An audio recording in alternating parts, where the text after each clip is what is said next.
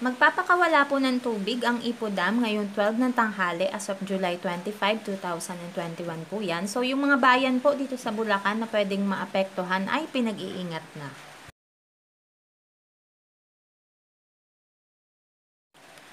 Ayon nga po sa pag-asa eh, magpapakawala ng tubig ang Ipo Dam ngayong 12 ng tanghali dahil sa inaasahang pagtaas ng tubig na dulot ng walang tigil na pag-ulan.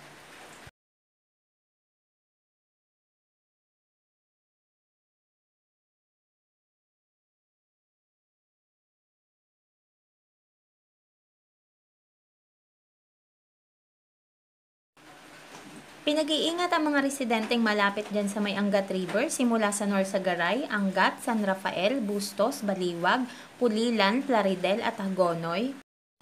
Kaya pinag-iingat po at maaaring maging alerto po sa posibleng pagtaas ng antas ng tubig sa daraanan ng naturang ilog.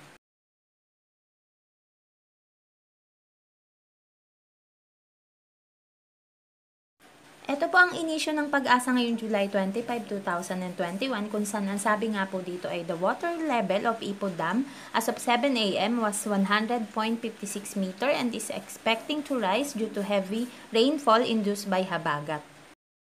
Ipo Dam Management will conduct spilling operation at 12 noon with approximate initial discharge of 30 cubic meter per second.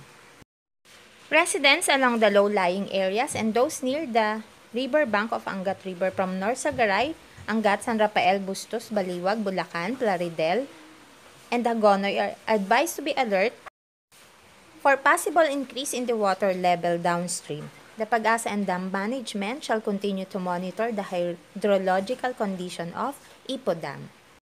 Ayan, mga kababayan po natin, lalo na po yung mga nandito sa Bulacan, ah, pakimonitor po natin yung lugar natin para makapag-ingat po tayo sa posibleng mga pagbaha.